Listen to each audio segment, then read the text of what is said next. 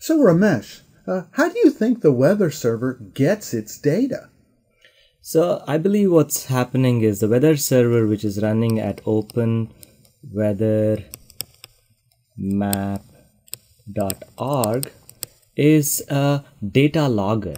Um, at, at its at its heart, it's a server, but it is serving requests for weather information, but it's getting information from all these locations. I th- think of these as the Internet of Things. These are the things.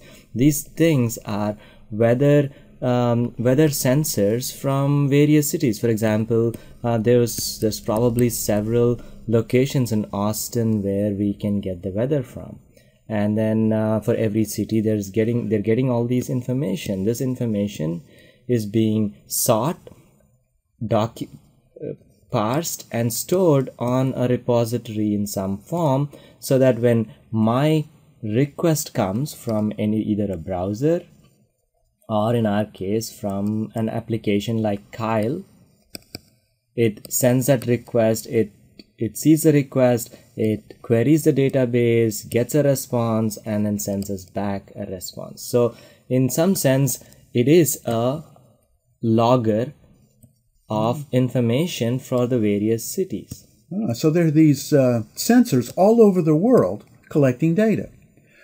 Why don't we make a lab and make our students do a very, very similar thing? so uh, i think uh, so our idea is that you will do one of these that actually sends information to a server and the server will log it and then you can see that using a browser so we'll do the other end we've shown you how to do this end and you will do this end So everyone in the world will be able to send messages to a central embedded system shaped the world server, and you will be able to see each other's messages. okay so the goal is to make a data logger Okay. Uh, let's show them how it works. All right, we're in Keil with a solution to Lab 16, and let's show you how it works. Just like the weather server, uh, we had to change the three parameters, uh, which were the SSID name, uh, the encryption type, and the password. But now we have two changes. We're going to connect to the embedded system MOOC uh, server, and that's the name of the server, and we're going to send it a message. And embedded in this message are a couple of things uh, your location, uh, in our case, we're in Austin, Texas, uh, your name, uh, I'm John, and now we're going to, the part that is the data logger is the greeting. So let's think of something uh, fun to say while we take here. Okay, so what should we say to the world? Okay, so we're going to ask, did you, again, you got to have the ASCII 20 for space, did you enjoy this? Yep, skipped one class.